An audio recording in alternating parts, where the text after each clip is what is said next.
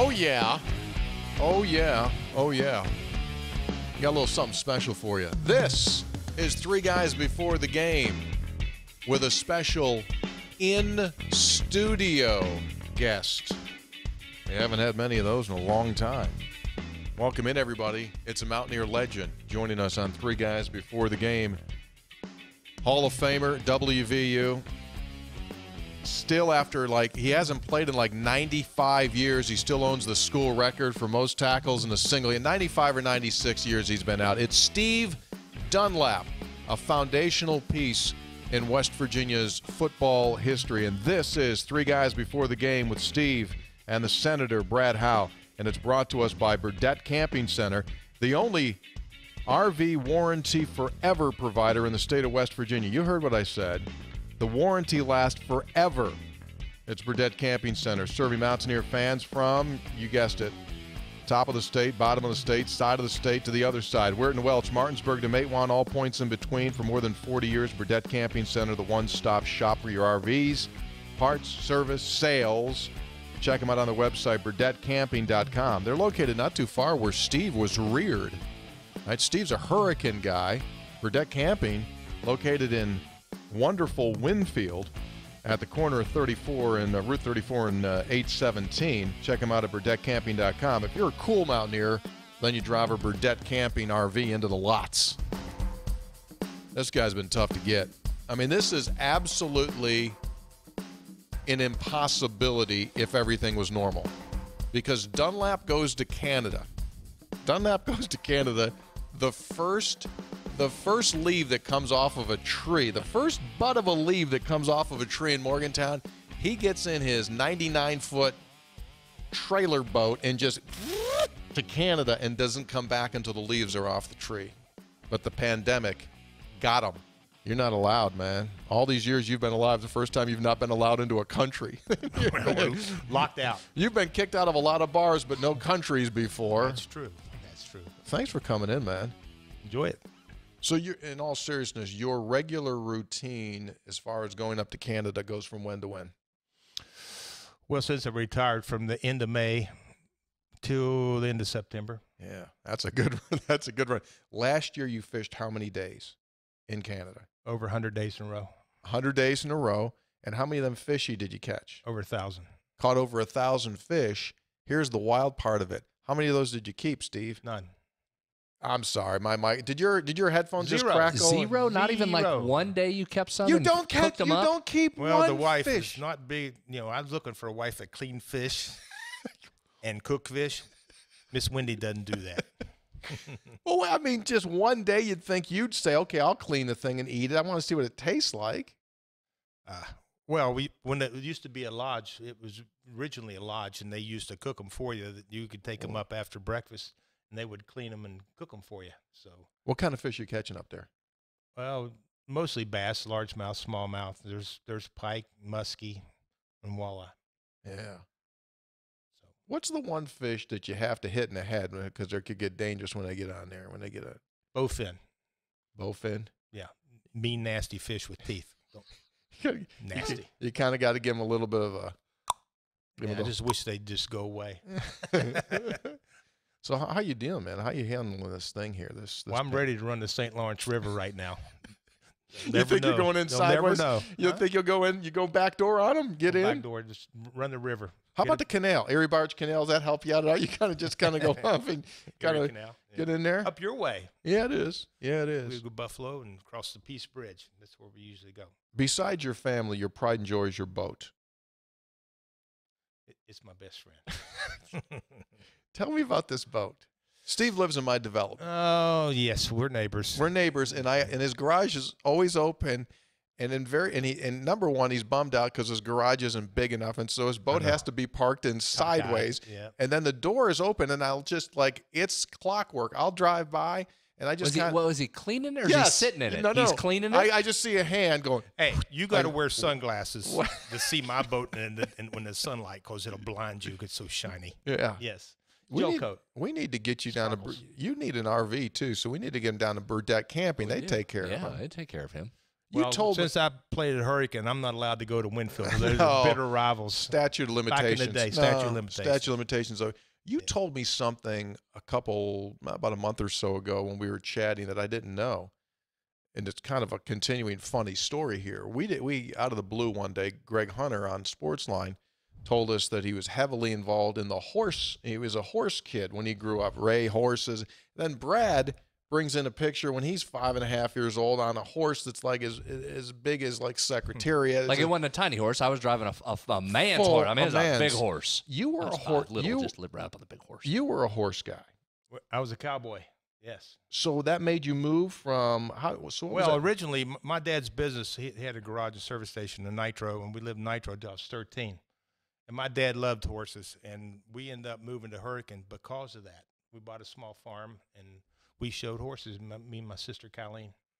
how about that? So we you're to some, and yeah, we, we had a good time. What age were you there? What were you in? Were you were into that when?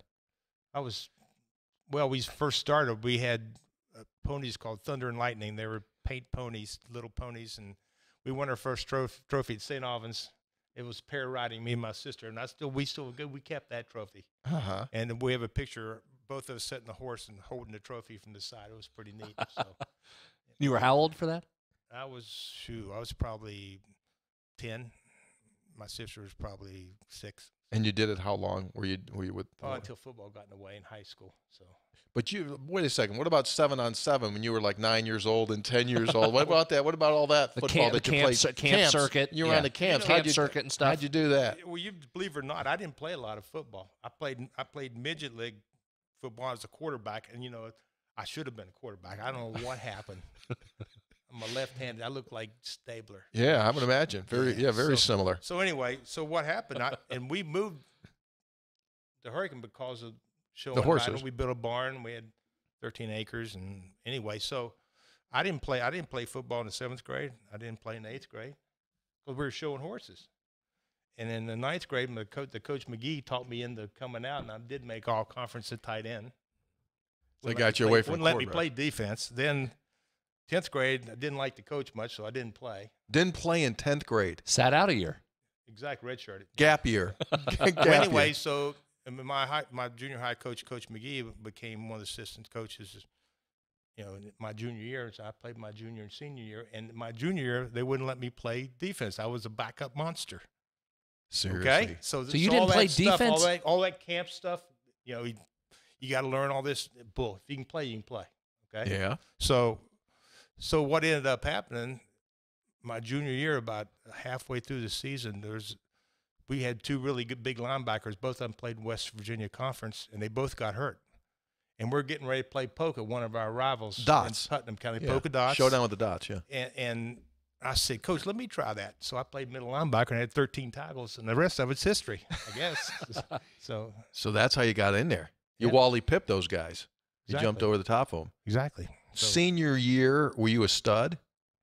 Well, they moved me to running back and changed my number to 42. So Coach Young, Donnie Young, was recruited me and coached me. I owe everything to Donnie Young. There's no doubt. So he kind of lost track of me because they were recruiting a kid at Winfield, and Jack Eastwood was Mr. All World from Nitro, and and a guy named Haywood Smith from Dunbar. Wow. all those and kids they kind of lost me because but the year before I was a tight end. My number was 83, and they changed it to 42. right.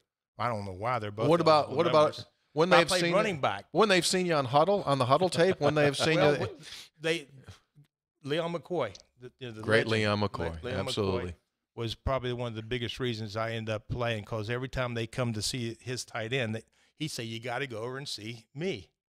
And the funny story was, I had to be six foot tall. They weren't going to, they weren't going to recruit me. So Donnie Young, you know how Donnie talks. Donnie came over and said, "We need to measure him." Well, I had socks. I had socks on. I maybe had about six rolls of tape underneath the heels. did you I'm five eleven, but I was six foot that day. you taped up your an- you taped But up you your heels You understand back then th- there was 42 in my class. I mean, back then they I don't think there was any number restrictions. So that was the uh, Alabama Bear Bryant system. Bring in as many as you can. Try to kill half of them and run them off, and whoever's left would, be good players for you. And that's exactly what happened. There were 42 in your class. 42. Yep. and believe it or not, 36 to 38 of us were still there. That, our class stuck together. You guys And are still weren't tight to this day. talented- we weren't near as talented as the 74 class, but the 75 class, my class, we ended up winning nine games and You- going to the Peach Bowl. You know, back then, you know how many bowls there were in 1975? Not many. 11. 11 bowls. 11. What is there now? 34? Mm, Uh, over mid 30s. that, Yeah, yeah. mid Well, 30s. it's ridiculous, whatever it is now. Do you think if you didn't put the tape on your heels that they wouldn't have offered you? If you were seriously, if you were 5'10, 5'11, they wouldn't have offered? Well, if Donnie believed in me, he'd probably laugh for me. So hopefully, I don't know. Excuse me. Well, there goes there goes the social distancing. Eat it. Um, It was a, it was it good use of the mask, though. It was an edict from Coach Bowden, I'm sure, the head coach. That's what he wanted. So you, that's really super interesting. You play, you hardly play linebacker. You move you to tight end, and change numbers. So you're like, eh, that's really interesting. So so Leon would say, go look at go look at the Dunlap kid, and Donnie would come down, and he searched you out. Exactly. So, and and here's another thing that's very interesting. After I signed, I came home one time, and my mo- mother said, Coach McCoy called, and he wants to talk to you. Well, we, we're bitter rivals. Right. I had two personal fouls, two 15 yarders for yoking the quarterback up in the bleachers in the in the first half of the game. And his, Coach McCoy came over and started hollering at me, saying, You know better than that. So right. He didn't curse because that wasn't his deal. John Spencer was sitting up in the stands with his head, helmet turned sideways. but anyway, he called. He called maybe in uh, April, and told me. I called him back and he said, "You need to come over here and work out with me because you know, he was famous for his weight room. Yes. He he had stuff there that was 20, 20 years ahead of everybody else, and he he took he he took me over and worked me out. I worked out with him all, every summer. We know we didn't stay there in the summer like you do now Right. and he worked me out every every year. Tried to kill me, but he, made you. He made you player. he sure did. when you got to when you got to West Virginia, you're undersized and you're one of 42 kids in the Mhm. class, and obviously there's all the guys, the upperclassmen that are ahead of you. Yes. Did you have an did you have a oh or aha moment, or did it ignite your fuse? What ignited my fuse is they brought the freshmen in three days early, like they used to. Yeah. and we're all sitting in the bleachers when we first get there, and we're all talking to each other. And then the coach comes in. We had to stand up and say our name, where we're from, and what we play. So of course, you know, I weighed 188 pounds, by the way. I mean, we got corners bigger than that now. So, so I was sitting against these two other guys that played linebacker too. One was 225, and one's 230. And I stood up and told him. And after we did all this and we broke up, and he looked at me and says, "There's no way you're linebacker. You got to be a safety or running back or something like that." Well, that lit my fuse. From that day on, you know, I, I had something to prove. You know, when you're a little guy and you had something to prove, and never lifted weights. I mean, I was farm strong from putting up hay and all that kind of stuff.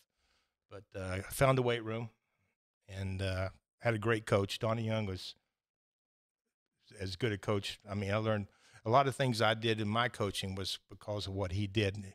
He used to say, if you, you can survive 30 minutes of, of my individual every day, you're going to be a player. So I was crazy enough to like it. that you See, gotta- there's another example. How many people have we talked to that it's one conversation, right? Almost a passing comment. That kid that said that to you probably has no idea that the fuse he lit in Well, you by saying that. Well, well, in, in the long story short, that one guy was kind of a sissy. He he didn't like to get hit, and I went way out of my way to hit him because we used to do what we call bull in the ring. They make a five yard Yeah, circle, yeah, yeah, and you get in the middle. Yeah. And you could point out whoever you wanted. I pointed him out three times in a row and tried to kill him. All right, and he outweighed me thirty pounds. Yeah, and you get you get you gave him- you gave him the old uh, you gave him the old hurricane shuffle, huh? Exactly. Yeah. So, and the other guy next to me became a, a, a podiatrist, believe it or not, and he played nose guard because he got fat and weighed 260, and he never played. So, you know, it's not where you start. And I always tell my players that it's where you finish. So if you got the mindset and the drive and the determination, you can, you can play this game. What was Bowden like when you got there? What was that whole deal? I don't know. He's always with the offense. Who knows? he was always with offense. But every once in a while, during practice, especially individual, he would go about halfway up an old mountaineer field and sit in the bleachers, and you would swear he's looking at you. He was looking at me. I know he was. So, How was it? What was the culture like in the thing? Was it? Uh, what was that like? I mean, you're you got to think about this, man. physical, all hitting, all the time. It was just physical. It- you che- it- they checked your manhood every day, which t- in today's football, you know. you- Well, first of all, guys are bigger, stronger, and faster now. Right. I mean, there wasn't probably 50, 60 pounds difference between all of us. Well, now you got a 325 pound lineman and a 180 pound corner. Something's got to give. Right. So it is a little different. I, I look back when Bruce Bosley, he was a beast. I mean, he was a great player. He weighed 235. And that defensive tackle at 225 was Sam Huff. Well, you know, the corners probably weighed 170, so there wasn't really a lot of difference. When you got you get that disparity in size Right. and strength and speed, these guys work out year round. They're fast, and, and believe me, everybody says, "Well, back in the old days, they, kids were tougher." No, bull, bull. These guys are big and they're very fast and they're physical. And and like I said, the bone structure hasn't changed in the ligaments. Something's got to give sometimes. yeah. Who was your defensive coordinator?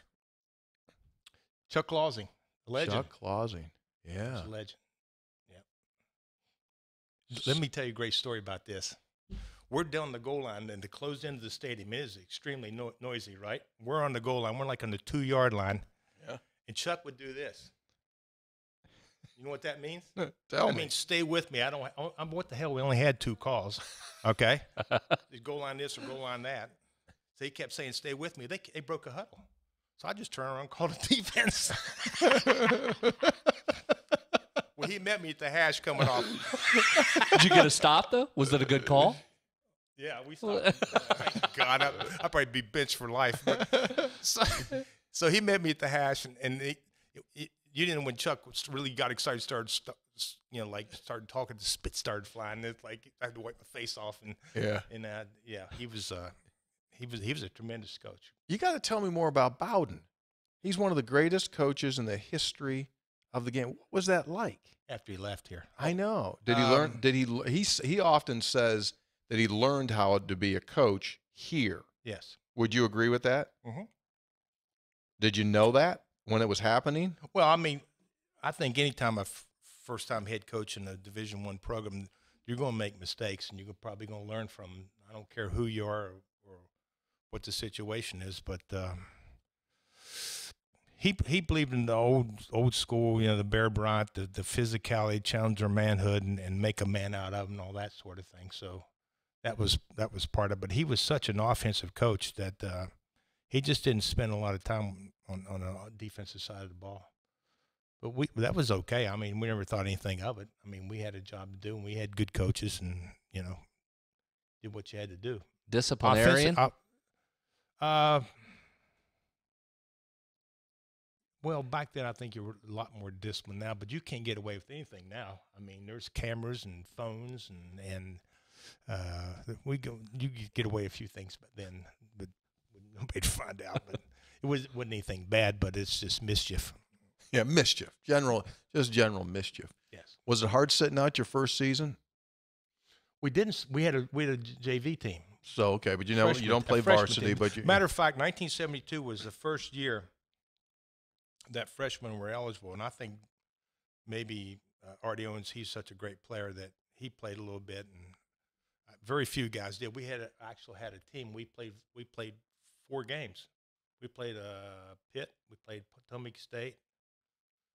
And believe it or not, I don't remember the rest of them, but anyway, we played we played four games. so you got four in, kind of get a little feel. Yeah, and let me tell you another story because we lost one of those games. I think we lost to Maryland. And D- George Duke Henshaw, another another legend, he was the JV coach, and he was he was probably just out of college. He, he I think he played in the '69 uh, Peach Bowl, and he was a defensive tackle. He was a he was a tough guy, and we we lost that game, and he was so mad at us that after practice on a Monday, he kept us out there in full pads, and we started running the 40s, and it's almost dark. Okay, I think we run. I think we're like 25 or 30 of them, full pads. And Coach Bowden walked over and whispered in his ear, and he told us to go in. I think he would have killed us all. so, yeah, it was it was it was a different day back then. It was really was. When you finally got to play, sophomore, junior, senior, what was it like playing at Old Mountaineer Field? loud, extremely loud, and right on top of you. I mean, believe it or not, it's only five yards from the sidelines to to the bleachers. So kind of like and- Oklahoma and- State is now. Exactly, and and but the wall wall was only like six feet high. So if, if they said you suck, Dunlap, you suck, you could hear it because they're right in your ear and they're right next to you. There's no question about it. I mean, but that's what made it unique. And that means thirty-five thousand. You say, oh, it couldn't be that loud, but it was. It was loud because it was close. Oh yeah, yeah. Now the turf. And let's talk about another thing. I was going to get into That that. AstroTurf, that's like it was like sandpaper. It was awful. My first time I slid on, I took all the hide off my shin. I mean, it would just burn the skin right off of it, and it was hard, and it was it was uh, nothing like it is today. Yeah. You still move pretty well though. No lingering effects from getting beat up on that turf. Well, remember, I didn't play that much football.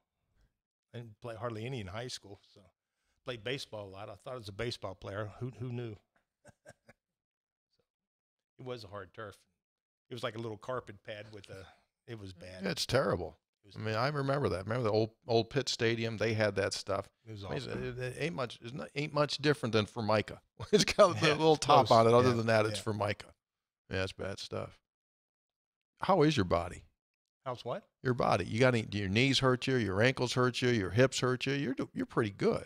Only thing bothers me my hands. I'm starting to get some arthritis, and my thumb doesn't work anymore. So Yeah. it, it, I had I was at Syracuse, and I got up one morning. I thought my thumb was asleep, and it wouldn't work. And I, by ten o'clock at, at, at work, I started figuring there's something wrong with this thing, and I went over and they took me and get an X-ray, and it says, "Looks like your wrist had been broken two places a long time ago."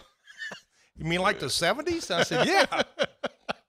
And, I- and what happened? I got bone spurs, and it's it severed the flexor tendon in one, my thumb. Yeah. The thumb thumb kind of called it quits there, I don't need it. I'm left-handed anyway. Yeah. Absolutely. They said you could fix it, but it would be a six-month recovery, and this was in April, and I, that would cut all the fish out in the summer. so that that made that decision real easy. So, yeah, solid move on your part. Well, you're right though. As long as it's not your left hand. You ever seen his handwriting? The the the best, prettiest handwriting in the state of West. I'd put him up against anybody. really? And still likes to write. Game day when he comes in to do our show, Did that already? he'll have 112 pages of handwritten notes. It's all perfect. I writing. remember he used to take me into his office and on the chalkboard. You used to you used to draw it up for for, him. this. Yeah, absolutely. Um, who was the you would greatest? have been nothing without me. There's no question. There you yeah, go. you taught me the game. Who's the, who's the greatest player you ever played against? Played against personally, Yeah, not coaching, just you. You're on the field and some guy whizzed by you and went like, "Woof!" um, Chuck Muncie, Wow. That's for one of them. That's a good one. yeah. University of California. We went out there and we beat them. We're in the goal line. They they were we were in the goal line. We're playing defense, and they're in like the two yard line, and they they ran a dive or something with Chuck. He's six four, weighed two twenty five. Wow. So I'm gonna lay him out. So I dived to hit him, and there's a I have a picture with me. And my my head was pointing his legs, and I got to hold the back of his knees. No chance. Did he did he score? And Tony Dorsett, Yeah, he was good. Huh? fantastic player. I mean, you talk about a guy that accelerate. You know, he only weighed 160 pounds when he was a freshman. He only weighed 190 when he was a senior, and they would they said that well, he'll never make it in the NFL. Yeah, huh? Yeah. Sure. Yeah. So yeah, he was a great player. How hard was it for West Virginia to win when you were here based on the stadium, based on the whole deal? Pitt bringing in recruiting classes of like, you know, Well, Just Pitt's been a- enormous numbers of Well, players. Pitt's been a yo-yo all through the years. As long as you can remember, from national champion is absolute awful, and they've always been that way. And I really uh, never understood why, because back then it was just such a gr- great recruiting area. There would be 51A recruits every year out of Western PA. So you know, if they got just get their share, they should be fine. But they would just self-destruct themselves for some reason. You've ever notice that? They're Mhm. really good or really bad, never in between. But West Virginia, in my opinion, has always been an overachiever. You know, and maybe because of the just the pride or good coaches or whatever it was, or we had something to prove because we're a little state. I don't know what what the, what the situation.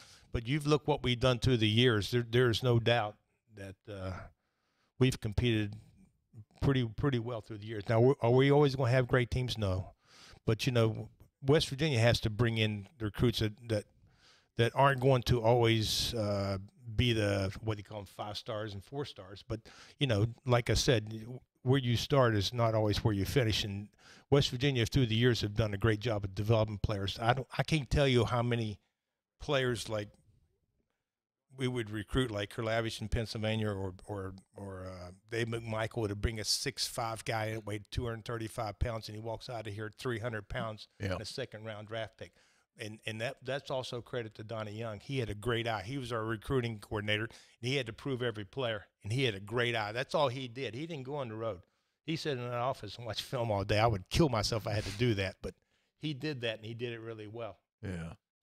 Now I worry a little bit about the, time you can spend with them, you know, and challenging them and all those sort of things as, as far as developing players. You know, they've cutting all that down. You Yeah. Now you can beat them till they till till your eyes fall out and watching film and all that stuff, but that's not like being on the field. It's just not the same. Let's, we'll jump around a little bit as we do on this podcast. We'll come back to your playing days a little bit, but when in there did you decide that coaching is where you were headed? Well, I started out as a psychology major, and I don't know what I was thinking. I took my first class, and I was like, "Whoa!" Then I then I changed to business major, and, and I didn't like that. So I ended up having to take another semester just to graduate.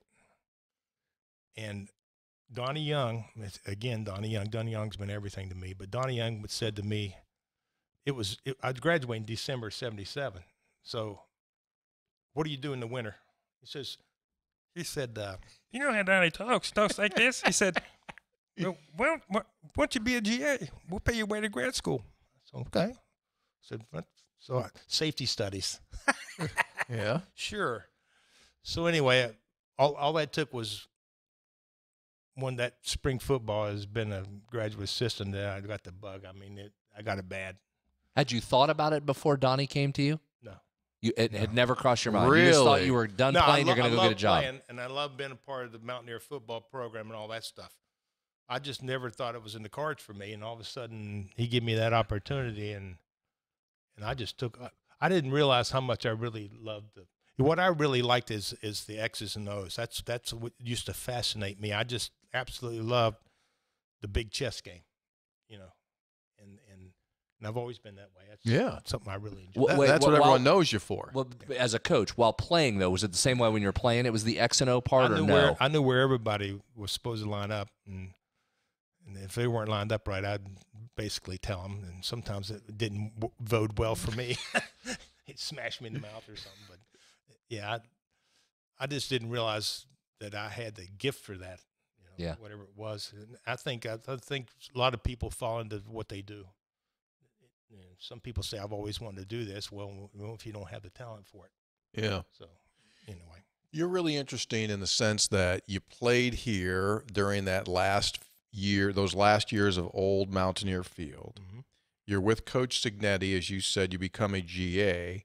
Then back then they had what they called a part-time assistant coach, Made that. right? You, you made that. And so you're here. Then Coach Nehlen comes in 80. So you see a coaching transition between Cignetti and Nehlen. Obviously, you had never heard the name Don Nehlen until he was hired. Then he gets here. What allowed you to stay? What are your first recollections of meeting Don Well, Nehlen? first of all, I call him Nailing, which didn't go over very well. You gave him He the nay like instead of the knee. It's Nehlen. okay. And uh, well, I started to find out what coaching's all about. It's day to day, and you know, you better be ready to move. And then started. I learned that lesson real fast, and uh, it's probably because of Donnie Young. He he kept me. Uh, Donnie he he put Donnie on probation Yeah. because Gary Tranquill was the defense coordinator that moved to offensive coordinator because he previously coached with Don at, at Bowling Green, and uh, he he probably he helped Donnie stay, and Donnie helped me stay. I'm sure, but I, the, it's a great story. When Don first came here, he we had to recruit uh, Rich Walters from Shaler High School. Now, here's how you get to Shaler. It's north of Pittsburgh. You go nowhere and you turn left. That's how you get there because it's impossible to find. I still I still have nightmares. You find the busy beaver and turn left. Uh, a, it was a lumber company or something. So I had to pick Don up the airport. I'm a GA. I am so freaking nervous. And, and dumb me, you should I should have driven there first to find it, right? so we have the assistant coach, Carl Battershell, at the school waiting for Don to come, and I'm driving, and I get lost. And there wasn't there were no phones or cell phones that had a map. You didn't pull up navigation on your phone. You didn't have the Yeah. GPS on there, We had nothing. Yeah. And it's like So I you're said- sweating, kneeling, sitting Oh, sitting I said, there. I'm done. I'm done. So, you know what he did? This is kind of guy, Don. What he just he t- tapped me, says, "Don't worry about it. We'll be fine." And it's just a that's the kind of guy he was. Really Yeah. amazing. Yeah. So you you stay here for two seasons. You stay here the, his first year and his second year, and then you mentioned Gary Tranquill a moment ago. Then you went up with Gary Tranquill at Navy, right? Yep. U.S. Naval Academy. Greatest one of the greatest experiences of my life to be around those kind of kids. How special they are, and uh, they're the best of the best. Amazing. D line coach, eighty two and eighty three. Yep. How'd that go? Whatever you said, they do. I had good players. Yeah. Nick Saban's defense coordinator. How's that? Nick Saban was. Yeah, we get along real good. Mm-hmm. You, Napoleon Kaufman there then? Napoleon? Yes. Not the Kaufman, the McCallum.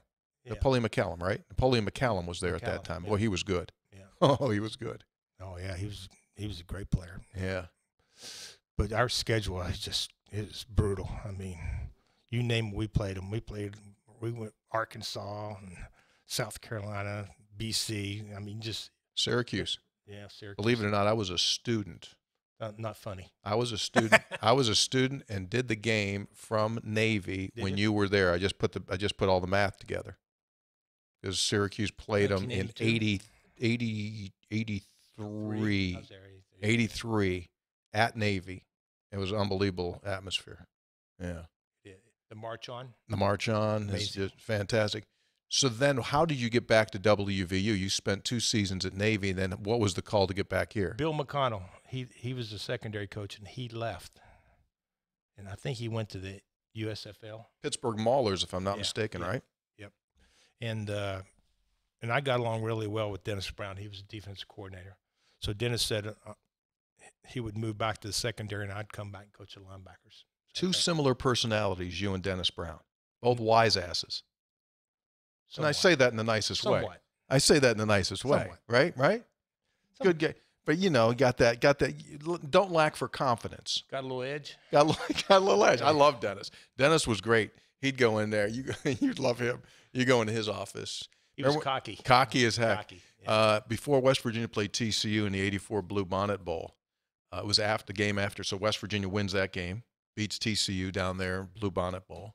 A reporter asked Dennis uh, a question. Dennis said, "I don't know. Um, perhaps someone thinks that they invented the game of football in Texas." no, that's Dennis. Yeah. yeah, that that would be him. They just kind of, yeah, yeah. Hold on, you got to turn it back a minute. You got to turn it back. He said Saban was defensive coordinator. We got to get a little of that in there. Yeah, jump in. We get before we come back to West Virginia. Give us a little Saban He offered me a deep. job twice at Michigan State, and I didn't go there. So what else you need to know? Okay? So he doesn't Well, he's talk. hard hard to work for. oh, you think? It's like going to prison. Yeah. Two, three squares a day, and that's it. You're out. I mean, I don't dislike Nick, but he's very driven and very difficult to work for. So, especially coach of secondary, that's like suicide watch. That was his position, right? That was his thing. You knew everything, just ask him. like, are Here- you? here's another thing Are I you wa- two boys? Like, if he saw you right now, would it be? Uh, what would that conversation be like? Be fine.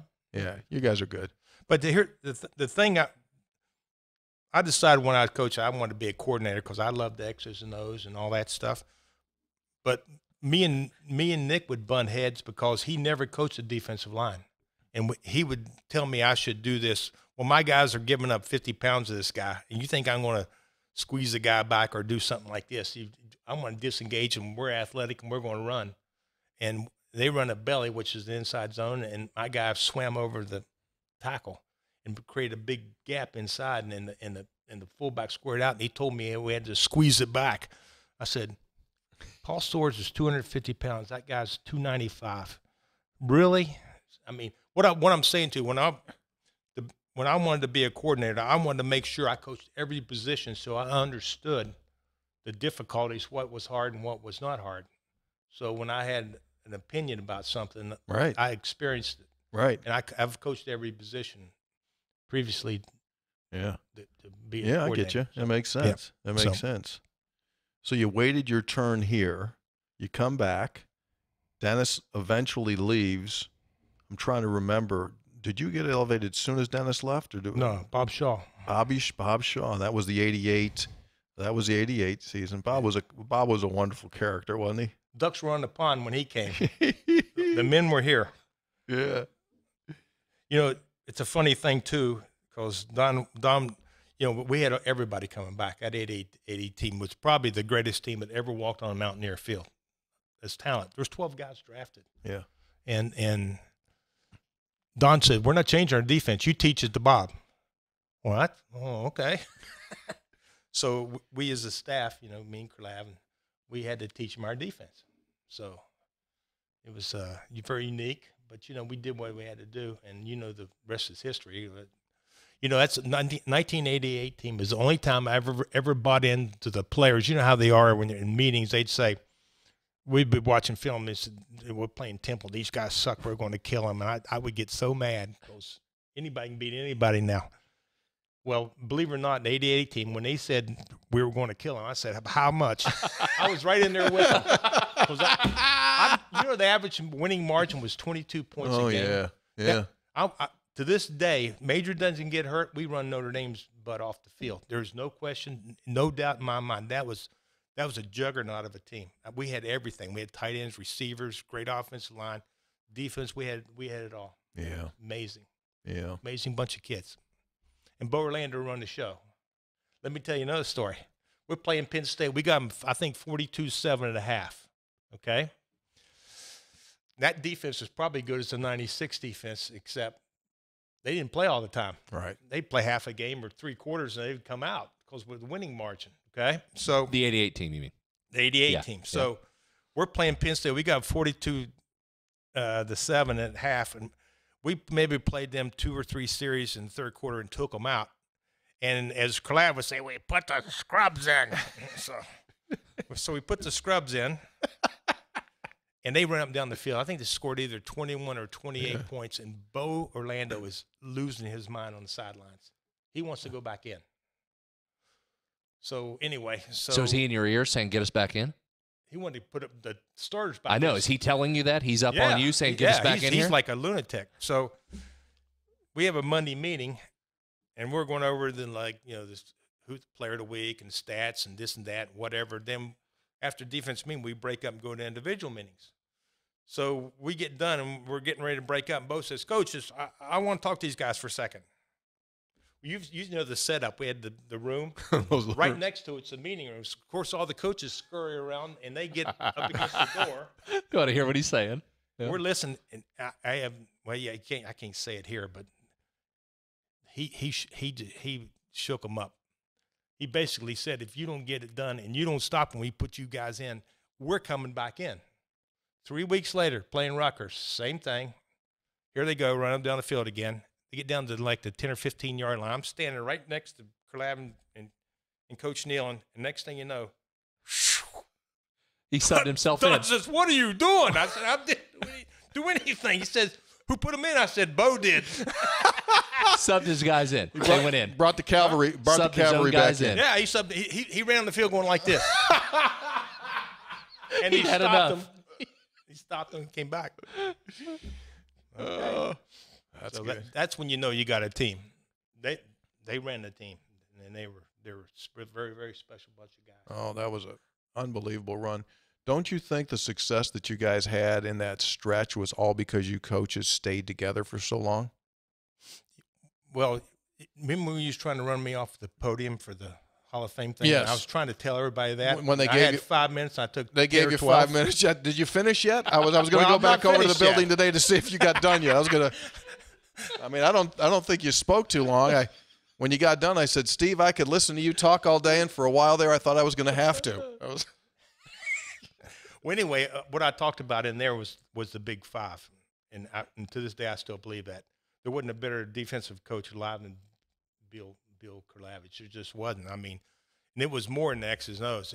You had to be a tough sucker to play for him. I mean, and he'd make them stick their snoot in there, you know. So, and and a and a really good recruit. We had a lot of great players Oh, Western yeah. PA.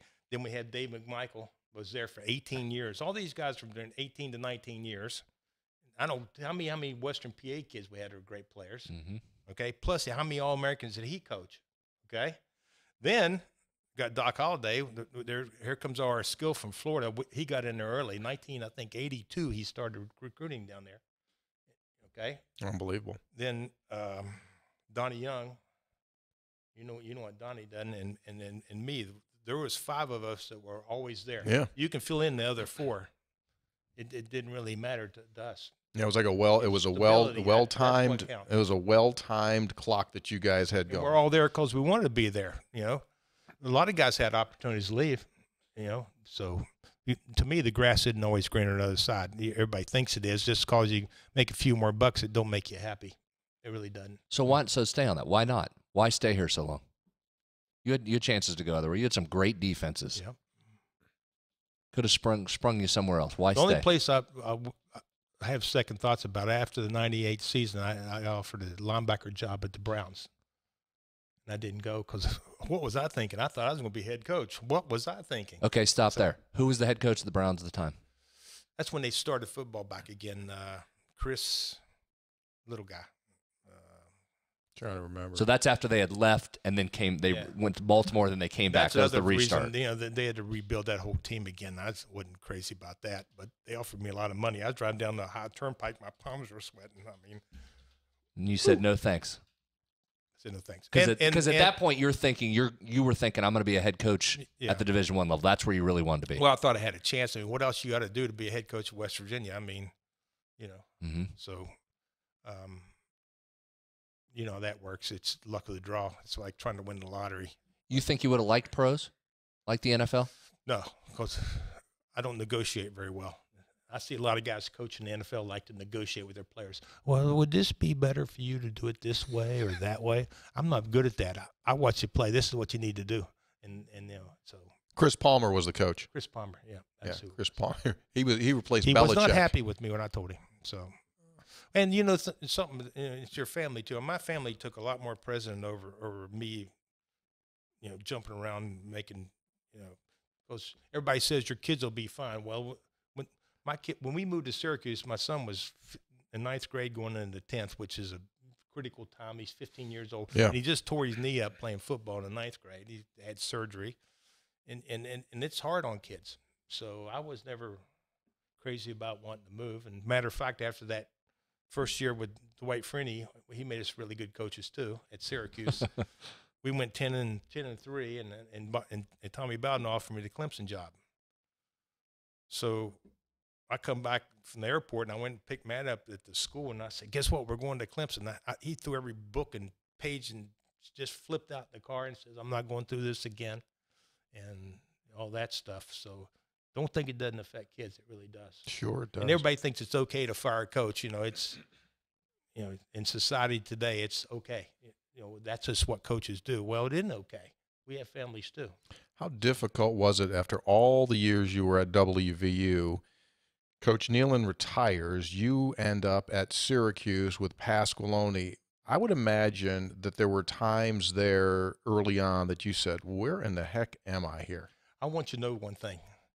I've pretty much worn blue gold my whole life, right? Even Navy was blue and gold, right? Yeah. So we went to the first practice at Syracuse in the spring practice, and I went to the bathroom, and there's all these mirrors, and there's nobody in the locker room. They all left, and I, I went, I turned and looked, and I had that orange on. It's like, wow, it's a Yeah. shock. I know? hear you, man. And I want you to know something. That that man, Pasqualoni, was a fine man. He he really he made me a better football coach. He really did.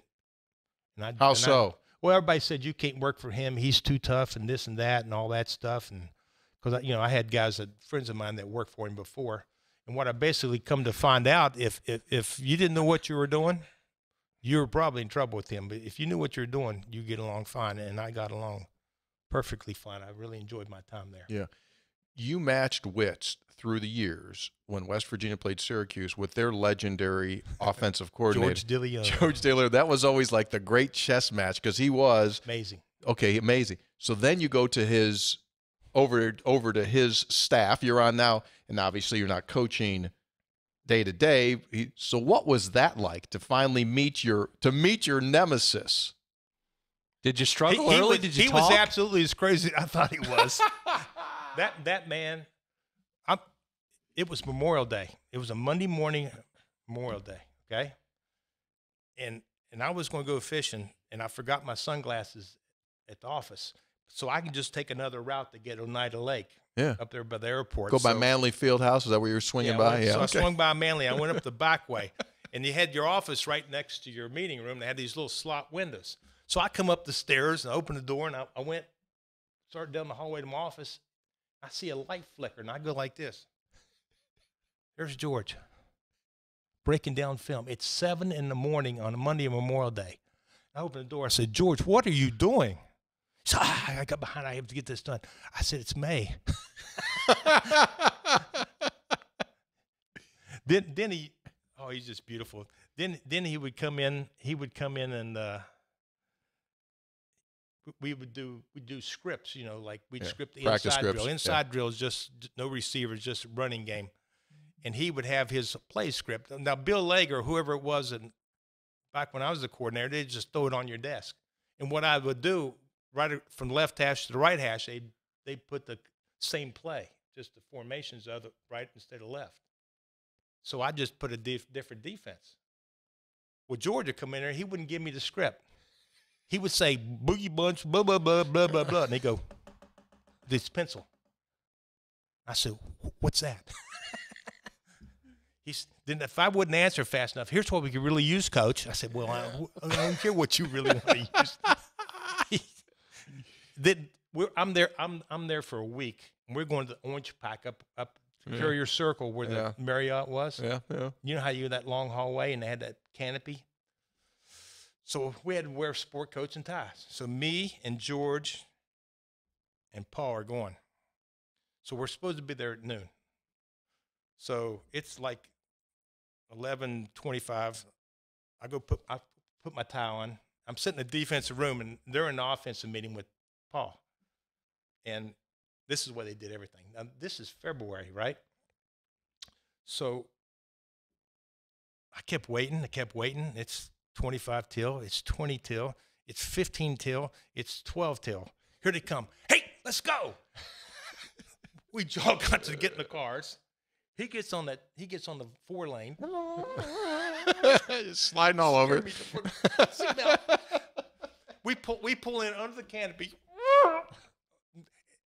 And leaves it there. You know that long hallway you walk in? You know that Run- hotel. It's where we many used to get times. I remember it. Yeah. Yeah. we finally get there. It's like, oh. so you know, Steve done blah blah blah. We eat lunch and blah blah. And we hear a little talk. He says, "Okay, let's go." I walk in the defensive room. and I said, "Holy!" And they all fell on the floor laughing. I said, "Yeah, they're all crazy." Yeah. Yeah. It's So- beautiful. All Won a right. lot So of if you if you thought it was weird that you were wearing orange when you're looking at yourself, how weird was it? What went through your mind the first time you lined up and West Virginia's on the other sideline? Oh, I hated it. It was awful. It it it wasn't the first year we, we were playing them at home, and I'm up in the press box, so I'm kind of detached a little bit. But we came there the the next year, and we're, I'm on the sideline looking across at my Mountaineers on Mountaineer Field, Yeah. and I just that was just awful.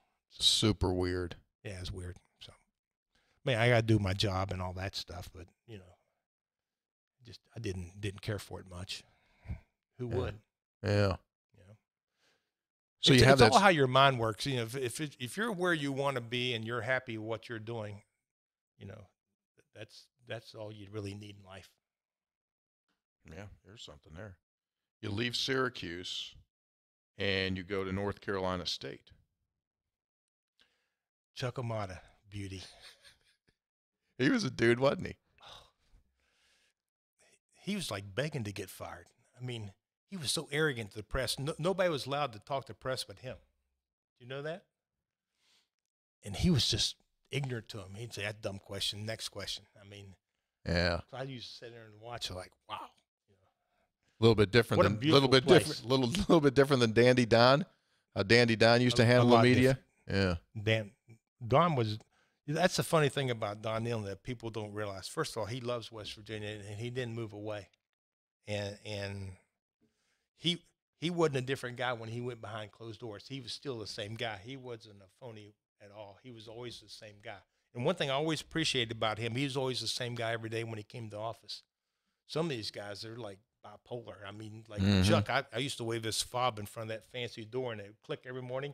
And I didn't know if it was going to be a good day or a bad day because you never knew. Yeah. He was like a yo-yo. He just amazing guy. Yeah. And What ultimately, that's what, place. But I had some players that year. Yeah. Who'd you have over there running around? Oh, Mario Williams is the first player to pick the draft. And Manny Lawson was the other end. Made you a pretty good coach. Presley, huh? Made you a pretty good coach. I was, you can't believe how smart I was. Yeah, I know. That's normally how that works. We, we played 50 more plays than any other team in the ACC because our offense was that bad. It was a Dunlap curse. Wherever I go, they suck on offense. and, and and I think we still end up like seventh or eighth in the country in total defense. That's amazing. And plus, we went to bowl game when we shut out South Florida in a bowl game. Yeah. So crazy. That ends, right, when uh, you leave NC State and talking about looking over at uh, Mountaineer Field in a different color. Now you're wearing green. And you have great respect and great admiration for the folks at Marshall because you were in a situation where you needed a job and they were there for you. Well, timing's everything, Tony. I get, I get a call from Oklahoma State a week after I sat down at Marshall. He told me I want to fly you out here. I said, I, ain't I'm not going out there. I just won't do it. I said, Did you want to interview me on the phone? That's fine, but I'm not going to do that because that make Marshall look bad. Was that Gundy back then? Gundy, yep. Yeah. So anyway, so one of the big reasons I went to Marshall, I got to stay with my mom for for a year, which is very unique. And I stayed at my sister's house, which is right adjacent to my mom's house, and, and uh, course I couldn't speed. My sister's a chief magistrate in Putnam County, so she Yeah. said, "You get a ticket. That you get a ticket." She wasn't going to help you. No, she, she's Rambo. She you you get nothing. So I got this that year spent my mom and my sister was pretty special. yeah, that's And awesome. the reason I did that is 'cause we made a deal with Mark Snyder then that in the off season we would I, I could work four tens and I could get Friday, Saturday, Sunday off. I'm only five hours from Raleigh. My my my daughter is going to be a senior in high school, and we promised her when we left Syracuse that we weren't going to move her again, which we didn't. So Wendy stayed home with Megan, and, and I would come home quite a bit. So you'd go home on the, on the weekends, get an extra I'd, day. home, I'd leave uh, Friday, Saturday, Thursday Sunday. night. Yeah. And come back Sunday. But he, the, Mark Mark Snyder's very good to me in that way. One season there, then back to Morgantown. Back to Morgan. Bill Stewart. I met Bill Stewart. Bill Stewart at, at Fairmont State at his apartment at a party, which I can't talk about. But he, Mike Michaels was used to be the coach at Buckhannon Sure, and University sure. High. He's, we were very good friends, and he was friends with Stu because they were in the same class. Stu initially came here as a walk on and figured out he couldn't play here, I guess, and went to Fairmont, Fairmont. yeah. had a great career there. And I met. That's when I first met him. So me and Stu go back a long, long ways. Tell me what Stu was like back then when you first met him, because he was wild fun when he was here, and he's in his fifties. What was he like then? Don't get in an argument with him. You probably get punched in the mouth. How's that? Seriously, Intense. Yeah, he was. He was a tough guy. He was. I liked him a lot. He's. God bless him. He was a wonderful man, yeah. and he was a very honest man. Worked very hard. You know, he used to go out in the desert when he's Arizona State, and it was like 110. He out there running nine miles. He just. I think that one thing that- that's that's awful hard on your body. His his knees and ankles and Yeah. all that running. But uh, he was he was a fine man. Shame what happened. Don't you think? I've always thought this. So Rich wins 11, 11, and 11. Stu wins 9, 9, and 9. And I used to tell Stu this. You, it's impossible for you to be considered a success here because no one in the history of Mountaineer football has ever had to follow up what you're trying to follow up. So even if you won 10 every year, they'd say it's not as good as the last guy.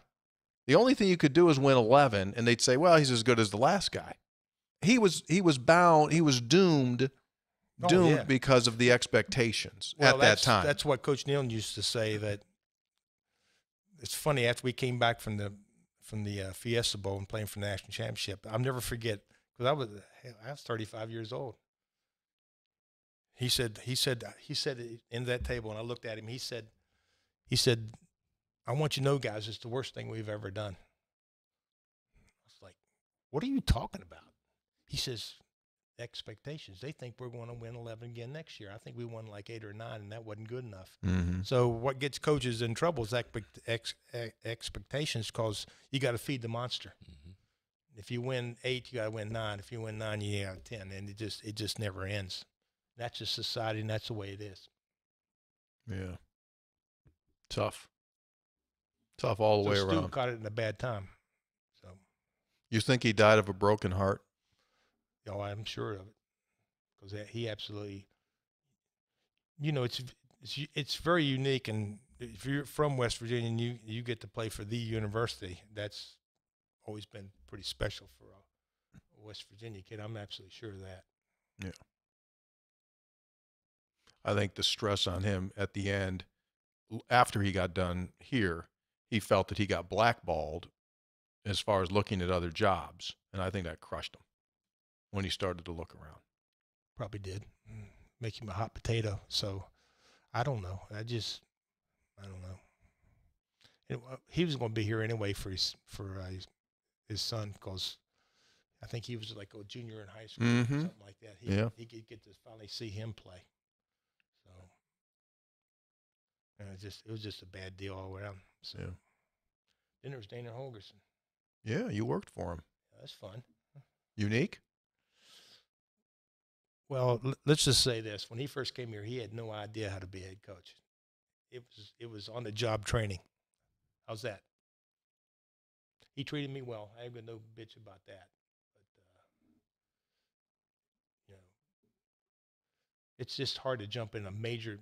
To me, West Virginia is a major di- Division One program, and I don't know wh- why you got to go out and take a guy that's never been a head coach when when we we should be able to track guys that have proven themselves as head coaches, like Coach Brown.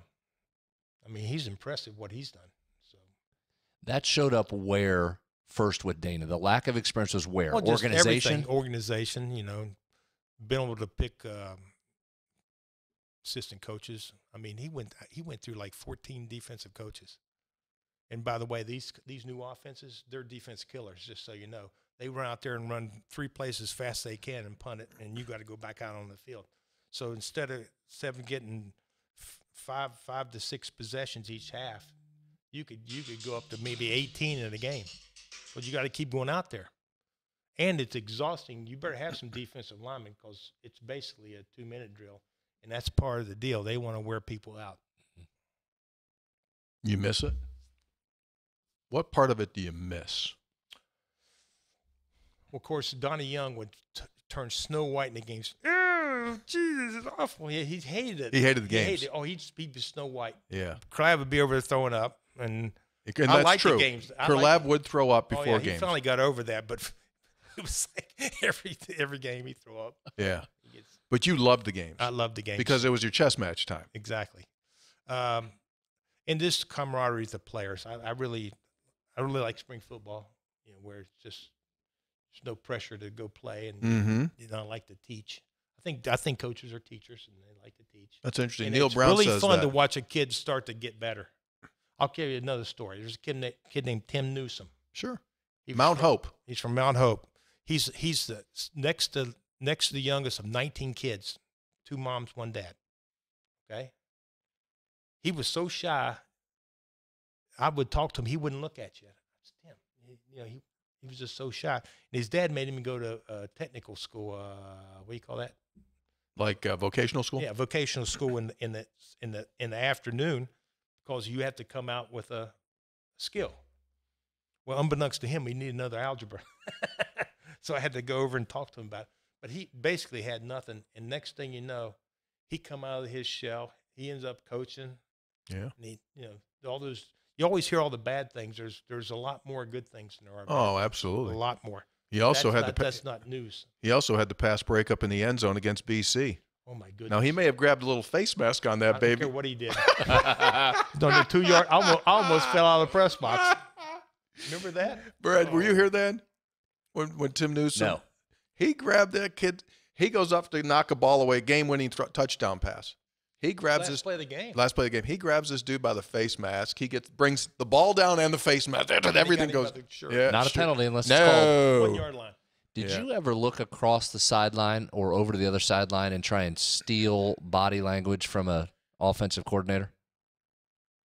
Like, did you when you were calling plays and watching games? Did you ever did you ever look across a lot and of do times anything on the? Did coordinators in the box. Did you ever steal anything from the So, you know, their sidelines? papers and all their stuff. You know. Uh, I didn't spend a lot of time doing that, but uh, I want to know who's in the game because personnel dictates.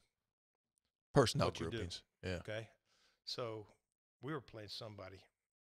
I don't remember, but it was the '96 team. Yeah. I mean, you talk about a bunch of players now, and we had the fire zones going, and we had 60 sacks that year. 60. So that what that, that can't happen. Well, the year before we had 40. I mean, but anyway, those kids were intelligent and smart and all that stuff. We are playing somebody that were running people on and off the field in bunches, like three or four. Elijah Longino would play the Sam linebacker. Okay, 81. remember Elijah Longino? Yeah, sure do. 81. He he st- he stood on the edge of the of the huddle, and I'm telling him I'm telling him on the sidelines I, I I don't know who's in the game. I said you may get a call late, but he says I'll get it for you. I need to get out of this chair to do this, but he's sitting in the huddle. well, Steve. he's watching. this, is, this is this is done that. This Yeah. is perfect. Done Yeah, he's watching. Yeah. He's, he's watching. watching, and I'm over. I'm up. I'm 50 yards away. Yeah. And we used to call personnel like Yeah. 11 personnel, one back, one tight end. right. Yeah. So he he was watching. He he could see him. He was close. Yeah. So he he turned around and go. and he did it the whole game. He'd give you the personnel grouping, and then you Whole game. ca- you call the defense. Yes. Yeah. When you get people getting personnel, they can do certain things. Were if they put four wides in a game, I may put six DBs in the game. I want to match up with them. Sure. Were you one of the first guys to use the fire zone stuff? You got that from the Steelers, right? We got ahead of we got ahead of everybody, I think, for as far as the fire zones go. And Mar- Marvin Lewis is probably one of the biggest reasons. But you know, it's funny. It's a funny thing. Back then, if you went up there, you would say that. They put you in one of those cubicles with the projector, Right. and they'd have all the tapes. Top, they have all their tapes, you know, the cut up tapes with the same fire zone over and over and over and over. And they they just and you can sit there and watch them. I must have spent a week or two up there. And I want you to know you can figure it out if you watch the same one over and over and over and over. You can figure it out. And they were really tight lipped. They didn't want to tell you all the. Right. And I squeezed a little bit out of Marvin every once in a while. but we were doing that in 19, 1995. Causing absolute mayhem. And then maybe 94, but n- by 96, it's full blown everything. I mean, Yeah. it wasn't just fire zoned, it was a two deep exchanges and all these different blitzes, and we were just coming from everywhere. And it was, it was, I used to sit on the sidelines and have Clav and all those guys were there, Donnie. I just used to say, this is unbelievable. Can this, can this last? I mean, this, I, I, it's just unbelievable. I mean, we just freaking wrecked. I, I remember we were playing Maryland that year, and I looked up in the start of the fourth quarter. You know, they they were moving the ball. I looked up, and they, that's when they had the, the stats on there. They had 25 yards. I remember one game they didn't get over mid didn't get over midfield. I mean, now what why'd that happen? Well, the 88 defense was a great defense.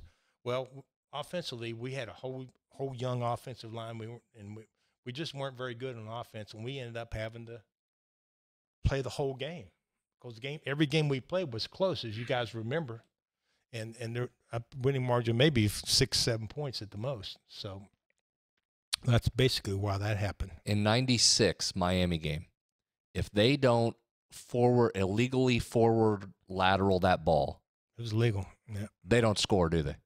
No. No. They Well, don't Don- score. Well, Don asked me in the sidelines. I think I think our punter was standing on the 17 yard line, and that's a long way to try to take a Go safety. backwards, yeah. So, he said, "Can you stop?" I said, "We did all day. Why not?" I said, "I mean, we had Mike Logan. We had, I mean, we had we had probably the best secondary that ever freaking walked on Mountaineer Field." The only change needed to be made, and this is the great hindsight. All we needed to do, the punter shouldn't have taken a step. No. He should have caught it and kicked it. Yes, That's all. That would have been enough. get across the fifty. It's all we need. Yeah, done. Yeah. They wouldn't. They, they they, still, wouldn't, they we wouldn't have moved it. and They would not have moved the they football. would, Well, they'd still be top of trying to score.